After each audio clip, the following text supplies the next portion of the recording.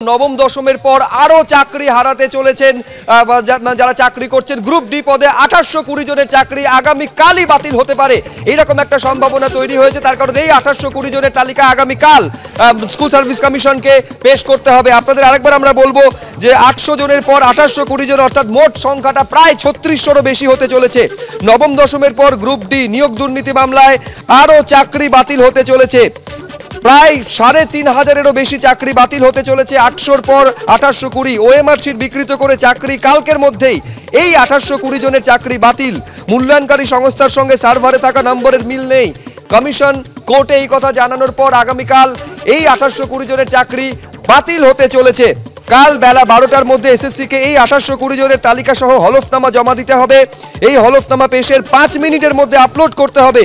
সুপারিশপত্র প্রত্যাহার করতে হবে বলে নির্দেশ দিয়েছেন বিচারপতি অভিজিৎ গঙ্গোপাধ্যায়।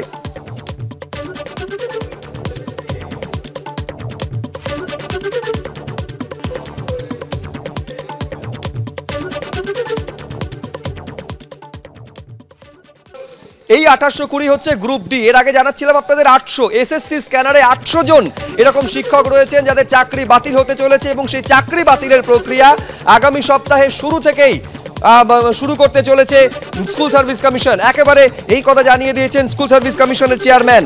এই আটশো জনের যে প্রাপ্ত নাম্বার, সার্ভারের নাম্বারের সঙ্গে ওএমআর সিটের মিল নেই। প্রায় তিপ্পান্ন নম্বর পর্যন্ত বাড়ানো হয়েছে।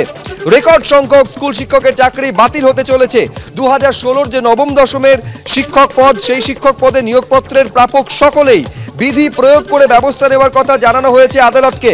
আগামী সপ্তাহে এই সংক্রান্ত নোটিশ জারি করা হবে। কৃষ্ণেন্দু অধিকারী আমাদের প্রতিনিধি আরও বিস্তারিত বলবেন এই নিয়ে। কৃষ্ণেন্দু, নজিরবিহীন বললেও কম বলা হয়। তার কারণ একদিকে গ্রুপ ডিতে আঠাশশো কুড়ি জন আর এই দু হাজার ষোলোর নাইন টেনে আটশো জনের চাকরি, এক লপ্তে এত জনের চাকরি বাতিল হওয়ার নজির এ রাজ্যে অন্তত নেই।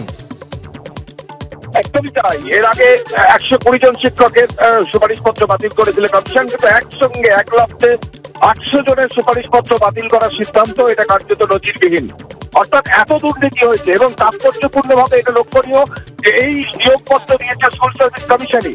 স্কুল সার্ভিস কমিশন যাদের নিয়োগপত্র দিয়েছে, যারা নিয়োগপত্র দিয়েছে সেই স্কুল সার্ভিস কমিশনই তাদের দেয়া নিয়োগপত্র বাতিল করছে বা সুপারিশপত্র বাতিল করছে, এটা আজকে জানিয়ে দেওয়া হচ্ছে স্কুল সার্ভিস কমিশনের তরফে। তুমি জানো দু হাজার ষোলোর যে নবম দশমের পরীক্ষা হয়েছিল, তাতে দেখা যায় বিরাট দুর্নীতির অভিযোগ উঠেছিল এবং তাতে নশো বাহান্ন জনের ওএমআর প্রকাশ্যে এনেছিল কমিশন যেখানে দেখা যাচ্ছে শূন্য থেকে বাহান্ন, তিপান্ন এমন নম্বর পর্যন্ত বাড়ানো হয়েছে। কমিশনের যে সার্ভার এবং কমিশনের যে ওএমআর সিট এবং পরীক্ষার ওএমআর সিট এবং কমিশনের সার্ভারের আকাশ পাতাল নম্বরের তফাৎ এবং এরই পরিপ্রেক্ষিতে হাইকোর্ট বিচারপতি, মাননীয় বিচারপতি বিশ্বজিৎ বসু প্রশ্ন তুলেছিলেন যে এদের বিরুদ্ধে কি পদক্ষেপ করা হবে। আজকে কমিশন ধীরে হলেও এই যে বেনজির দুর্নীতি, তার কথা স্বীকার করে তাদেরই দেওয়ার সুপারিশপত্র বাতিল করার সিদ্ধান্ত নিয়েছে। কমিশন জানাচ্ছে আগামী সপ্তাহে নোটিশ দেওয়া হবে এবং পর্যায়ক্রমে তাদের সুপারিশপত্র বাতিল করা হবে। কমিশনের একটা ধারা আছে সতেরো ধারা বিধি সেই বিধির সতেরো ধারা অনুযায়ী। অর্থাৎ কমিশন এতদিন পরে একসঙ্গে এক লক্ষে আটশো জনের চাকরি বাতিল করছে একদিকে যেমন পাশাপাশি নিজেদের দেওয়া সুপারিশপত্র নিজেরাই বাতিল হচ্ছে এটা কমিশনের সাথে আজকে স্পষ্ট বলে দেওয়া হয়েছে। তবে সব বিষয়টাই হাইকোর্টের আহ, ভৎসনার পরে হচ্ছে এটাই তাৎপর্যপূর্ণ।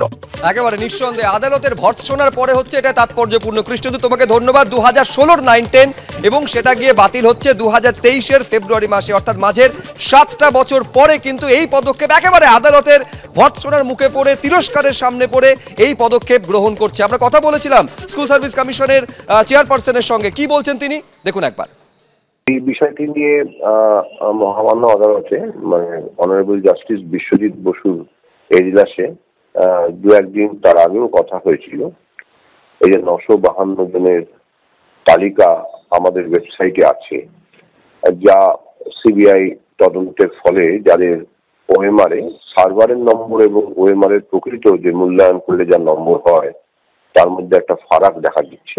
এদের ব্যাপারে কি চিন্তা ভাবনা করছেন? এরা যদি কেউ অনেক চাকরি পেয়ে থাকেন বা আমাদের সুপারিশপত্র পেয়ে থাকেন, তার ব্যাপারে কমিশনের তো হাতে বিধি আছে। আমাদের যে বিধি ষোলো তার সতেরো নম্বর ধারা অনুসারে সুপারিশপত্র বাতিল করা যায় যদি ভুল আগে বা পরে ইচ্ছাকৃত, অনিচ্ছাকৃত কিছু ধরা পড়ে। এখন এই মর্মে আমাদের ছ তারিখ শুনানির পরে আট তারিখে আমাদের একটা হলফনামা দিতে মহামান্য বিচারপতি নির্দেশ দেন। সেখানে আমরা জানিয়েছি যে হ্যাঁ এই প্রক্রিয়াটা আমরা অবশ্যই শুরু করতে রাজি আছি। মানে আগামী সপ্তাহ থেকে আমরা প্রক্রিয়াটা শুরু করব। প্রথমেই নশো বাহান্নর মধ্যে আমরা বলেছি যে পনেরো জন যাদের নাম আছে ওই তালিকায় কিন্তু তারা এক হ্যাঁ, নম্বর তাদের নম্বর বৃদ্ধি পেয়েছে একটি আদালতের নির্দেশে ওই পনেরো জন এই তালিকার থেকে আমাদের বাদ দিতে হবে। এই নশো সাঁত্রিশ তার মধ্যে সবাই তো সুপারিশপত্র পাননি। এইরকম করে আনুমানিক একটা আটশো মতন সংখ্যা আটশো একটু সামান্য বেশি হবে এই সংখ্যাটা আমরা পেয়েছি যারা কিনা যাদের সুপারিশপত্র বাতিল করার দিকে আমরা থাকতে পারি। জানিয়েছি যে আমরা আগামী সপ্তাহ থেকে কাজটা শুরু করব। অবশ্যই একটা নোটিশ দেবো আগামী সপ্তাহে এবং সেই কাজটা শুরু করব এবং সেটা শুরু হবে পর্যায়ক্রমে কাজটা করা